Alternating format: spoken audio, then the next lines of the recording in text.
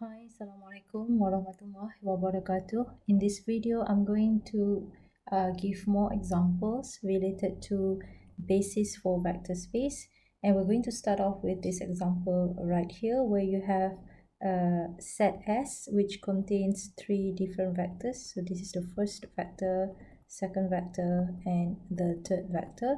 And you are asked to demonstrate that the set here is a basis for our vector space so this is the vector space and um, it is um, real numbers with three dimension. So the first step is to demonstrate that S here spans this vector space okay? So is it true? Um, well the first step is to uh, make sure that we can write um, the linear combination of all these vectors. So c1 1 2 3 plus c2 0 1 2 plus c3 so this is the third vector negative 2 0 1 and the result here is going to be equal to something. We don't know what the value is. We can just uh, uh, represent it with uh, certain alphabets. For example you can represent the result as x y and z okay? So that is our starting point. So the objective here is to um, see whether we can get the values of c1 c2 and c3 and therefore uh, what we need to do next is we can consider the augmented matrix of all these uh, numbers combined together okay and um, we can apply the elementary row operations as usual. So for example this part here I've got to turn it into zero. Therefore the operation that I need to consider will be um, turning the second row into something else here. So we have the second row plus negative 2 of the first row. So here we have 1 0 negative 2x so for the second row here we have um, 2 minus 2 is 0 1 minus 0 is 1 0 plus 4 so this is 4 so y minus 2x okay?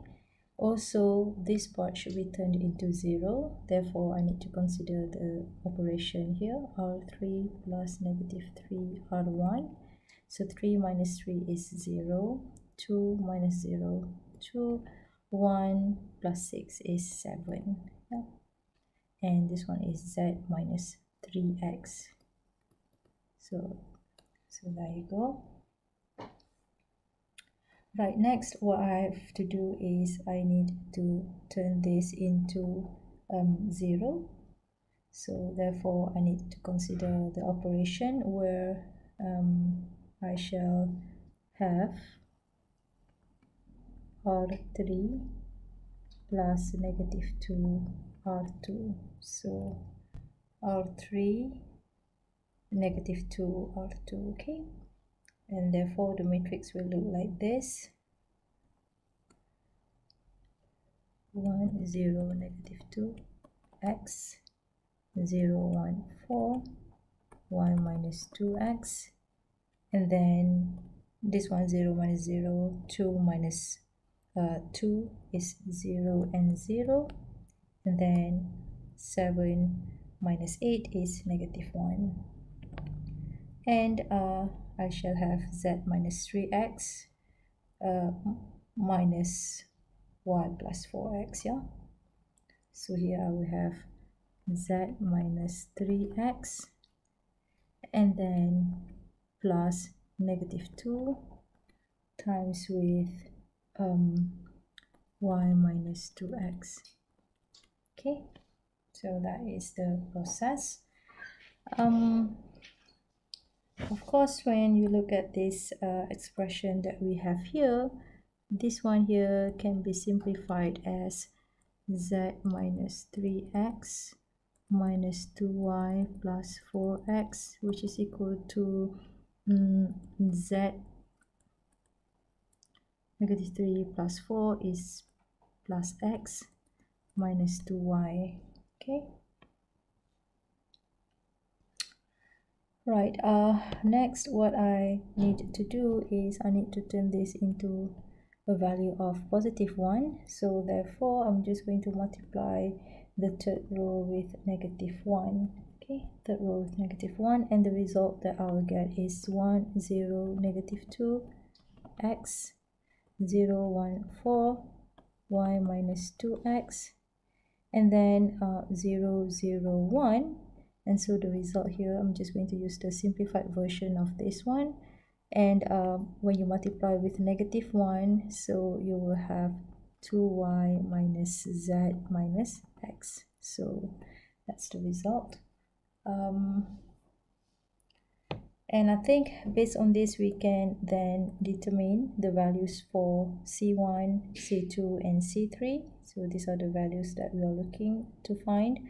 Um, therefore based on this uh, part here you can see that C1 is sorry C3 is equal to 2y minus z minus x. So that is the value of C3 and next um, if you consider this part right here you will see that this is c2 plus 4c3 is equal to y minus 2x and therefore um, c2 is y minus 2x minus 4c3 so y minus 2x minus 4 c3 is 2y minus z minus x. So just substitute the value of c3 right here and you can simplify the whole thing. So here we have y minus 2x minus 8y plus 4z plus 4x and that can be simplified as well here is negative 7y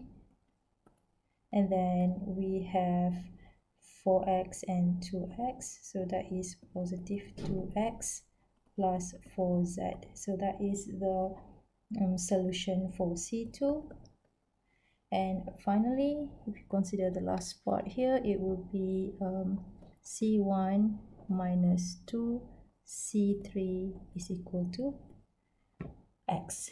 And therefore C1 is just x plus 2 C3 which is equal to x plus 2 C3 is this guy over here you just substitute the value.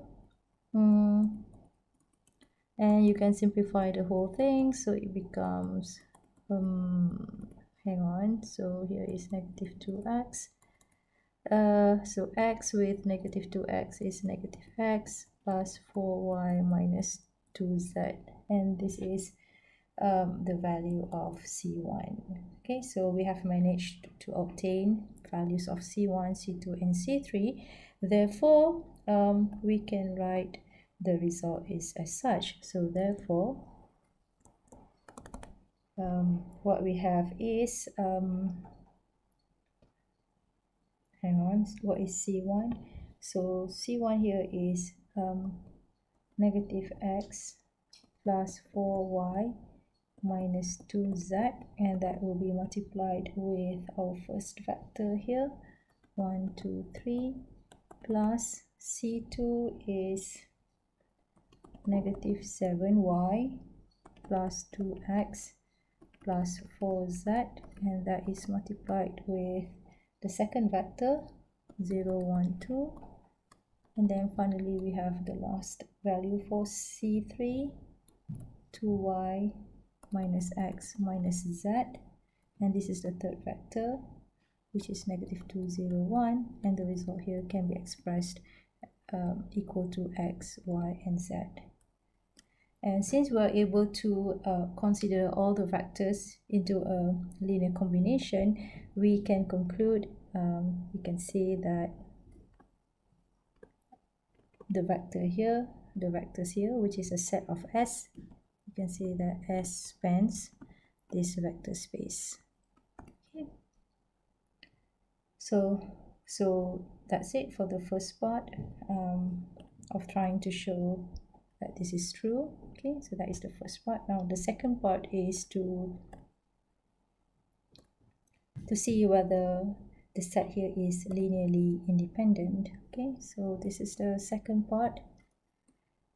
So is s linearly independent.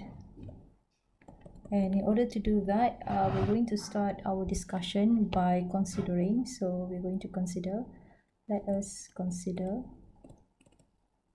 um, the idea of having c1 1 2 3 plus c2 um, 0 1 2 plus c3 negative 2 0 1 x y z. I'm going to call this equation 1 yeah? So let us consider this part here and the solutions. And the solutions given as um, c1 is negative x plus 4y minus 2z c2 is negative 7y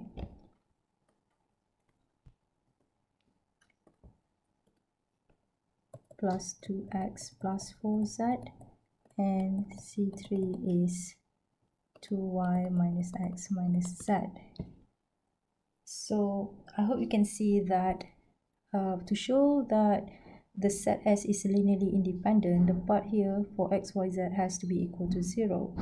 And therefore, if I let, if we let x equals to 0, y equals to 0, and z equals to 0, then equation 1 becomes um, C1